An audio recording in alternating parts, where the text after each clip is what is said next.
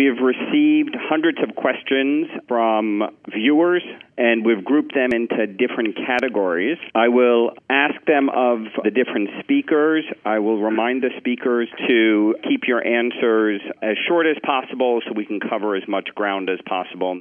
A set of questions has to do with the care of a patient, and one aspect is just the spectrum of illness. And Armand, can you comment on the spectrum of illness and the established and known treatments that we have available?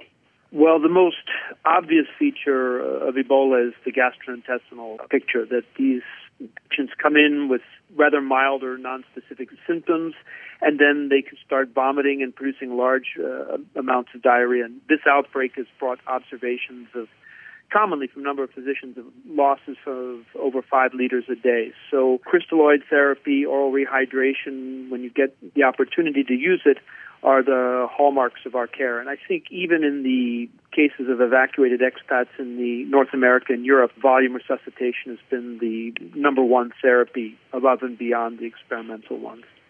Thank you. Uh, Jeremy, if you can comment on the novel or experimental therapies and how they fit in conceptually and what evidence we have, if any of them are effective at this time. Thank you very much. I'll be brief. I think they largely fall into three different categories. Firstly, starting off with antibody therapy of some description, small molecule antiviral drugs, and immune modulatory drugs. Dealing with the, uh, and I should say that as far as I'm aware at the moment, we have no good evidence that any of these treatment interventions are highly effective and we still lack data on safety, and that is crucial data to acquire in the short term, in my opinion. I would reiterate that I, I do not believe that treatment on its own will turn this epidemic around, but it will, it may play a role in changing the dynamic, encouraging people to believe that this disease is actually treatable and we may uh, save lives, which is obviously critical. The antibody therapies fall into convalescent plasma. That's the antibodies from people that have survived, if they're willing to donate blood, and which has specific antibodies in, to monoclonal antibodies. And the most famous of those, of course, is the ZMapp antibody cocktail, which uh, is being upscaled at the moment for future testing, and monoclonal antibodies that could potentially be generated from B cells of survivors or indeed also potentially from vaccinees, uh, healthy volunteers that have been vaccinated. Then you've got the specific antiviral drugs, perhaps the most advanced of these in terms of moving them through non human primates into clinical testing. Is the small interfering RNA molecules, uh, and then the immune modulatory drugs, whether they be interferons or others. There are a, a, number of other drugs which have been suggested and which I think the evidence is much less compelling for their assessment and some that I do not think should be used. And those would include, in my view, systemic corticosteroids, which should not be used. I think the evidence for ribavirin, for heparin, uh, for recombinant activated protein C, and for statins, I think the evidence for that latter group is not sufficient to take it through to clinical testing in human beings at this time. We we know that uh, patients that have survived do have specific antibodies in their blood, and that the affinity of those antibodies increases over time. Of course, what we don't know is a threshold for which antibodies give you a surrogate marker of protection. Although, of course, it's possible we may gather that in the coming month and over the course of this epidemic as we hopefully move towards vaccination and offering vaccine more widely. And I, am not aware, but others on the call may be, of data that absolutely confirms that somebody who was previously infected cannot be reinfected. Of course, there is evidence from non human primates, but we should be cautious about extrapolating from non human primates into human beings. There's no doubt that people who have survived do generate antibodies uh, which can neutralize in vitro and which can protect non human primates. Armand, are you aware of data uh, about immunity to a second infection? No, in, in humans, we we've had the fortunate situation that nobody has had to endure two Ebola outbreaks uh, in the same location. So we haven't had a chance to test that, and it's probably a good thing for the people involved, but it does limit our knowledge. This is Paul, and I'm going to ask Armand. Um, his colleagues in, in Monrovia have at least shared with us the story of a couple of children under five who had negative PCRs and then returned with some. Uh, again, I'm not sure the exact timeline, but some weeks later, I don't know, Armand, if you know about it, with positive PCR. Well, this is a different story. The the time lapse between so these are children who had a normal course of illness. They became ill, they went through the normal symptomatology and had a clinical recovery, and their PCR became. And they were, in one case, sent home, in another case, because the child was an orphan, kept next to the ETU. And then both of these children became ill, and it wasn't weeks, it was uh, a, a day or two. They came back and were found to be febrile and positive again. Both of these children had some sort of neurologic signs, uh, as right. described to me.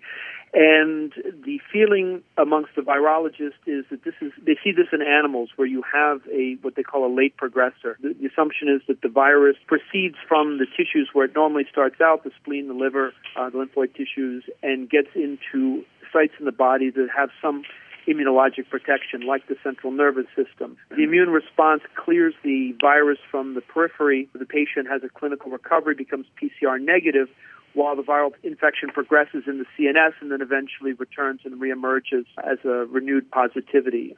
Now, from what I understand, at least one of those children went on to recover and became negative again, so they were able to bounce back from that. I don't know the fate of the second child, but uh, this is supposition on our part. We don't have any. We weren't able to get a lumbar puncture on either of these children, to the best of my knowledge, but it would be consistent with what we've seen in the animal model. So, Armand, uh, along the lines of infectivity, you mentioned that when a patient recovers and their PCR, uh, their blood PCR, is above 36 cycles, they're no longer considered infectious and uh, are released. What is the strength of the evidence that with clinical recovery, but still PCR positivity in some fluids, and you know semen can remain PCR positive for two to three months, that these individuals are no longer infectious. Well, so the the evidence is very very weak. We've known about the semen for well for years since Kikwit and probably before that. And when we do discharge male patients who recovered, they are sent home with uh, very strong advice to uh, make sure that they do not spread the disease through their semen. The rest is again it's epidemiologic. These patients go home and do not produce further cases in their domestic environment, so they are not infectious to the best of our knowledge. And the rest is by extrapolation from animal studies where the virologists have not been able to recover virus past that point. And so the assumption is that the PCR signal is from antibody bound virus.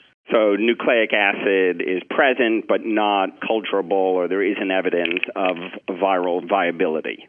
That's correct. We have a cluster of questions around transmission and transmission risk. And I'd like to ask Arjun to comment on, you know, what does it take to become infected? Is this an aerosolized, not through medical procedure, but just sort of like influenza? Can this be spread by aerosol? What kind of contact is required, and is intact skin a vulnerability? Thank you. That's a good question. Again, I, I would refer people, I think, uh, the issue of Ebola transmission, I think, is laid out very nicely in the Ebola transmission document that's on the CDC website, which really goes through the papers. The, the current thinking, and Armand might want to comment also on this, the best evidence that we have suggests that the overwhelming route of transmission is through contact with contaminated fluids with broken skin or mucous membranes.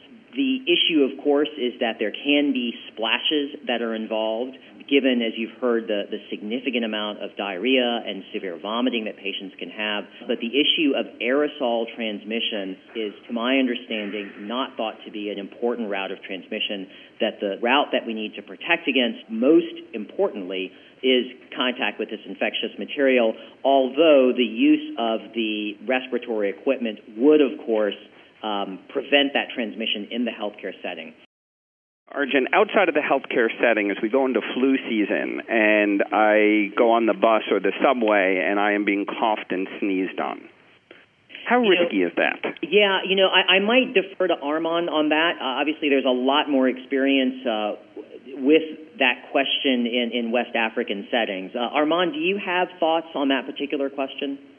If there were significant airborne transmission, we would see spontaneously generated cases that were not linked to a known case. There would be cases of casual transmission. And as you noted, when we find our cases and we examine their exposure history, it inevitably tracks back to a significant exposure where you've had hands on care of the sick, attendance at a funeral, or some similar contact with fomites or patients that allows us to explain it through direct transmission. We've never had to invoke aerosol as a hypothesis to explain things that were not otherwise explicable. So if it were, if it does occur, it is clearly not a significant form of transmission. The Public Health Agency of Canada just published a study showing that in non-human primates there was a failure to transmit between caged monkeys at a rather close distance. So we're taking that as a hopeful sign because this is the same lab that showed us that in pigs this can be an airborne disease. And in the current discussion, infectivity is thought to occur after symptom onset. How well yes. is this established? I think it's mostly an article of faith. Again, we don't see transmission between people who have had casual contact. The feeling is that even within the first day of disease, when you simply have a fever and no production of infectious body fluids, you don't see a disease transmission through that sort of casual contact. So we assume that it is not transmissible or not easily transmissible during the incubation period or through the even into the very first uh, day or two of the disease. But this remains to be shown, and we'd like to actually have this studied. Uh, and along those lines, and this is a question for Matthew, envi- in the community, environmental contamination, how concerned should we be? At this point, very not concerned, or you should be worried about this at all. The way we are going, we have a handful of patients. All but a few are still in the hospital. And when you look at environmental contamination in the community, only three patients were actually out in the community and when we look at Dallas, the situation, that, that individual who was back in his home, the other people who were in that home during his illness, where he actually had nausea and vomiting and diarrhea and everything, have already passed their incubation period. So he did not transmit to those other individuals. And it sounds like survival of the virus on inert surfaces is not prolonged? Well, at usual temperatures? what we think, now there's very limited data about this, is that in the natural environment, it doesn't persist for long periods of time. In laboratory studies, which you can easily manipulate your conditions and everything is well controlled, yes, virus might be able to persist for longer periods of time, but we don't have other data to say this is Arjun. If I could also say, I think everybody on, on the call probably obviously knows this, but one thing that I think is relevant information for us to have and to consider is that the family members of the initial patient are now beyond that 21 day incubation period. So none of the family members who were living in space with the initial patient who had Ebola in this country, of course, with living in the community without any protective equipment, it appears that none of them were infected with Ebola. And I, and I think that a particularly important thing for us to all remember when we think about the, the infectivity, and we, we don't base a lot on one small experience, but I think it is a helpful experience to remember. On a, on a different tact, and this is a question for, for Chris. Um, the R naught for this outbreak uh, appears to be in the one and a half to two range, um, which is substantially lower than uh, for measles or influenza. How do you think about this in terms of the transmissibility and outbreak control? I think the first thing to say about the reproduction number is that what is being measured and what is being regularly published are averages for whole communities. What I would have said uh, if I had a little bit longer in my talk is a little bit more about the outbreak that we saw in uh, DRC, in Congo, where the index case was probably responsible for infecting 21 other people. And that is uh, formally an R naught for that outbreak of 21, which, of course, is enormously high. But I think this is characteristic of Ebola. We see certain events, notably variants, but other events as well, where a lot of infections are transmitted during the course of that event. Our estimates are that perhaps a quarter of all infections come from funerals or unsafe burials. So that's the context in which we should view these numbers of about one and a half or two. But at the community level, even an R naught of around about one and a half or two means, as we've seen, a doubling time, given the serial interval, given the, given the generation time, a doubling time of three to four weeks or so. And if that persists, then of course we can see a, a huge increase in cases into the thousands or, or even tens of thousands. And that's what's happened across the three countries from June, July, going into August and September. And it seems that consistent with what's been already discussed, that transmissibility is a much more direct contact, which is why if direct contact behaviors are diminished, then control is more attainable as opposed to measles. Absolutely. As the other speakers have said on this call, the route of transmission is rather well understood. There is speculation about other forms of transmission arising as the virus mutates and so on, but there's very little evidence for any of that happening at the moment. So fundamentally, we know how to stop infections being transmitted in a community. And one other feature of this average value of R naught, let, us say it's in the vicinity of, of two, is that it means that if you can cut out a little more than half of transmission, then the infection is destined to inevitably die away from the community. So, if we had a vaccine, for example, with 50% efficacy that could be given to everybody or efficacy a little bit higher than that, we would expect it to have a substantial impact at community level. But of course, the variation that I pointed out earlier on means that even if infection is declining on average in the population, we have to be very wary of outbreaks surrounding certain events. I mentioned Kenema district earlier on, where we have seen uh, in eastern Sierra Leone an increase in cases recently, and the evidence from our colleagues on the ground is that this increase is associated with one or two instances of unsafe burial. So we should be able to force case numbers down, but make a few mistakes and they'll come back up again. Sure. Uh, another issue which several listeners have commented on, and this is for Paul, is the epicenters in West Africa. Why not stop air travel until the outbreak is over? Quarantine could be very effective. Paul, do you think this would work?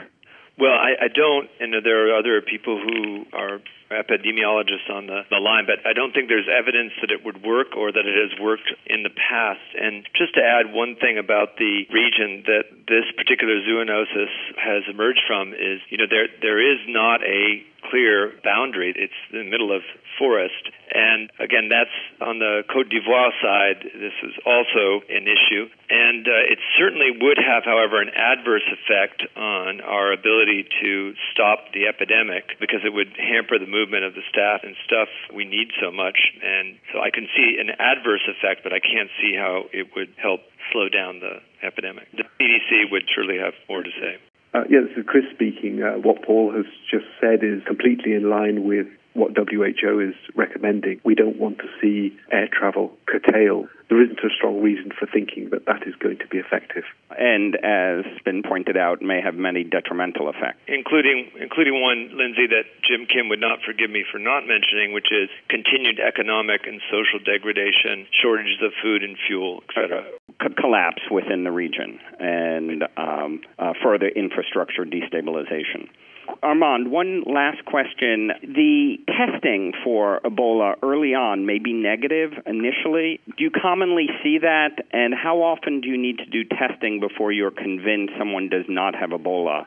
Obviously, someone who presents at risk with a compatible syndrome like fever negative result does not reliably exclude Ebola until 72 hours after the onset of symptoms. We will occasionally see positive results earlier than that, depending on how fast the illness is progressing. So we do test people when they come in, even if they come in in the first three days. But if they are negative, we hold on to them until at least 72 hours into the course of their illness. Thank you. I would like to thank all the speakers uh, for participating and sharing their thoughts. And as we all have heard, there are more questions than answers, and we'll continue to learn as we gain more knowledge regarding this outbreak and improve our response.